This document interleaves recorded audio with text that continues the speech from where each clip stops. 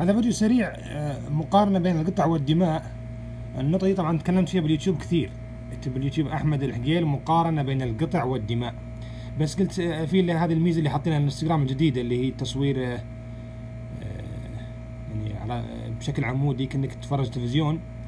قلت خل أجربها بمقطع زي هذا. الآن أنا داخل في موقع البريد بس بدخل على نسب أي حصان من خيل الجمال أو خيل خلينا نقول أبنائها حققت في الجمال سواء في الش- الشقب الريان إلى آخره. أي حصان مصري أو بولش حقق في مسابقات الجمال أو أبنائه حققوا في مسابقات الجمال الجمال. كل ما عليك فعله طبعا الأشياء التالية. طبعا كنا تكلمت فيها قبل مقاطع قديمة زي ما قلت بس خلينا نسويها الآن. لما تقول للشخص افعل كذا وكذا وكذا أنت افعلها له أو أنت افعلها عنه كنوع من التوضيح. نصب نصب حصان فرضا آه، العديد الشقب أو العديد الشقب سمى ما شئت.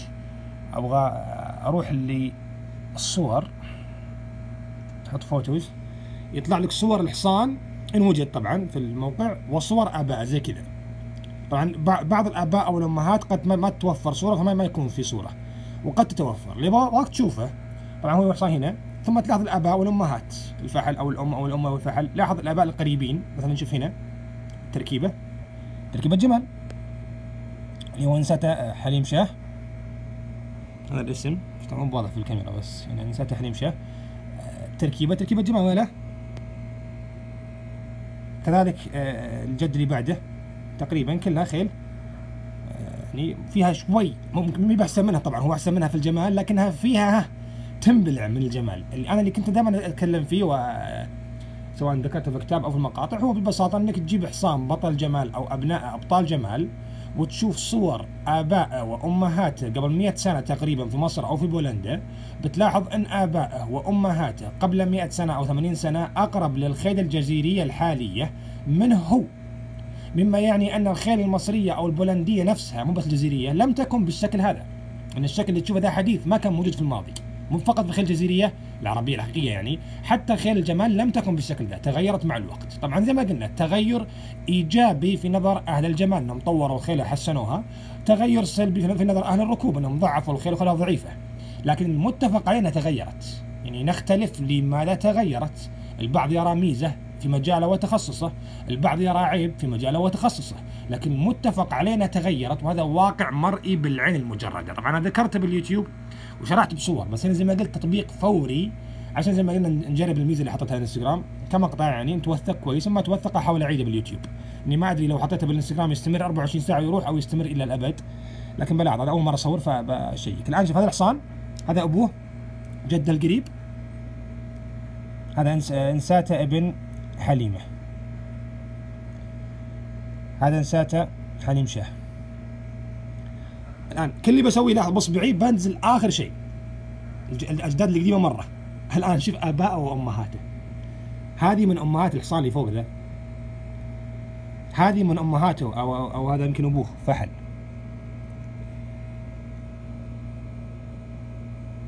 فرس اسمها مجيده. لاحظ تركيبة. بنت رسالة. من أمهات الحصان اللي قبل شوي هذه أمة بنت رسالة. الآن حكم عقلك وحكم ضميرك. لو أخذت الصورة ذي بدون ما تقول إنها أم العديد الشقب بدون ما تقول إنها أم حصان مصري اصيل إلى آخره بس خذ الصورة هذه وورها أي شخص في مجلس خيل سيقول لك هذه فرس بدوية قديمة أو فرس تربد ولا لو أخذت الصورة ذي قصيتها كما هي ووريتها الشخص في مجلس أهل خيل حاليا في الوقت الحالي. إما انه يقول بعربية أو انه يقول عربية قديمة. يستحيل يكون عربية يعني من العربي الموجود حاليا العربي التايواني خلينا نقول أو المغشوش. طب هذه هذه من أمهاته. هذه وهذه أمهات. فوق زيادة. هذا. أمهات هذا. أمهات هذا. وضحت الفكرة؟ هذا ابوه طبعا هذا جده الآن ال ال ال الأب والجد التركيبة هذه وهو طبعا منهم بس هنا تركيبته مين واضحة؟ تركيبته جايب جايب الوجه لكن له مقاطع طبعا هو كثيرة. انزل تحت سواء هو أو اي حصان ثاني جاب في الجمال بس أنا يعني أخذت أقرب مثل. هذه أمهاتهم. شوف شوف. لا عليك قد شفت حصان جمال بالتركيبة هذه في الوقت الحالي؟ شوف كتوفه كيف عضل. مع عندها إلى حد ما حتى الشوال والفنس شوي يعني مقبولة عندهم مو زي قبل شوي. لاحظ هذه بنت ريالة بنت ريالة ولا بنت ريالة؟ شوف شوف التركيبة. قص الصورة ذي وعطها على الخير شو يقولون عنها؟ خلقت لك واحدة بعد. صدمة زيادة مثلا. طبعا صورناها اللي قبل شوي. هذه إيش رأيك؟ في الصورة. اسمها عبية ثلاثة.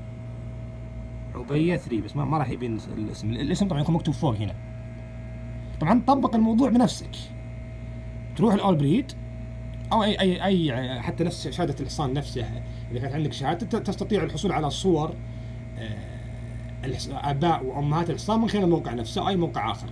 شوف فقط آباء وأمهات الحصان القدماء يعني اللي بأبيض وأسود زي كذا هم القريبين منه البعيدين.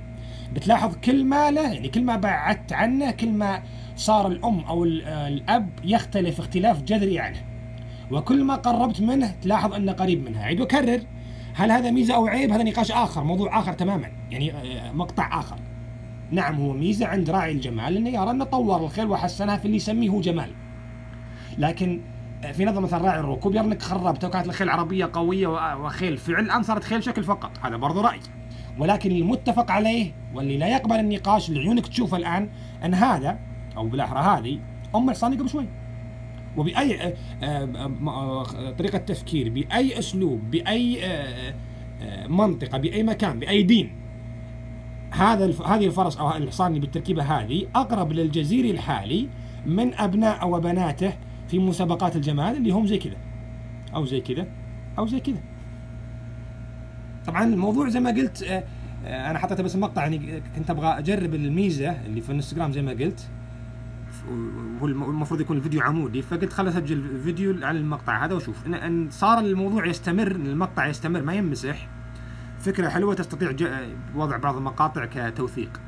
إن كان لو والله ينمسح بعد 24 ساعة ما لها معنى إنك تحطه بالإنستغرام إذا كان بيروح تحطه باليوتيوب أفضل. لكن طبعا الموضوع هذا بالتفصيل موجود في اليوتيوب مقاطع طويل جدا. اكتب باليوتيوب أحمد الحقيل مقارنة بين القطع والدماء. أو داخل القناه لاحظ قائمة تشغيل اسمها مقارنة بين القطع والدماء.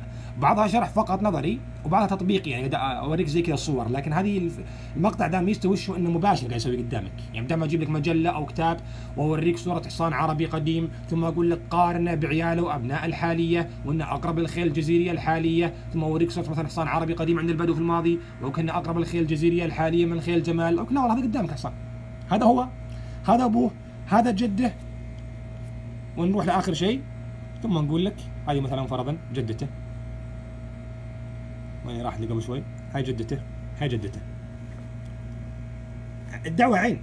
الدعوة عقل. الدعوة منطق. ما لا يعني الموضوع هذا أو النقطة هذه ما لها دخل في فهم الخيل. ما لها دخل إن الشخص يكون فاهم في الخيل أو خبير في الخيل أو غشيم في الخيل. هذا له دخل بطريقة تفكير. يعني جيب شخص من الشارع ووره الكلام اللي ذكر هنا. يعني شيء مرئي بعين مجردة. ما يحتاج يفهم في الخيل عشان يعرف الفرق بالشكل اللي الواضح قدامك. أما الدم نقطة أخرى. صفاء الدم من عدم نقطة أخرى. هنا حصان مصري فأكيد دمه صافي لأنه يرجع لك دمه إلى الخيل الجزيرية. الآن طبق دم سوينا المقطع خلينا نكمل. الآن بما ان حصان مصري دمه صافي أصيل خلينا نتطرق للبولش. جيب حصان بولش أحسن من آه الحصان هذا. وفي في مسابقات الجمال عياله حققوا أكثر لكن دمه مو معروف. ستلاحظ أن بعد ثلاث أو أربع صور يتوقفون عن الصور. ما يورونك صور زيادة لأباء وأمهاته. لأن أصلا آباء وامهاته مي مسجله يكتب لك عربي أصيل. ما يعطيك اسم الأبو. بينما هو لو تلاحظ يوصلك وين؟ إلى الجزيرة العربية. جميع الدماء القديمة عندك هذه بعضها يرجع لقبائل معينة في جزيرة العرب. هذا ميزه الحصان المصري عن الحصان البولندي من ناحية الدم. آه، صح انه عايش في مصر وأقل أصاله من الحصان العربي الجزيري لكنه أقرب للخيل العربية الجزيرية من أي دماء أخرى فهو أصيل. أما البولش دمه مضروب مو بصافي. لكن من ناحية التركيبة خيل الجمال الحالية تختلف اختلاف جذري عن الخيل القديمة من آبائها وأمهاتها كما ترى. والله أنا بالصواب.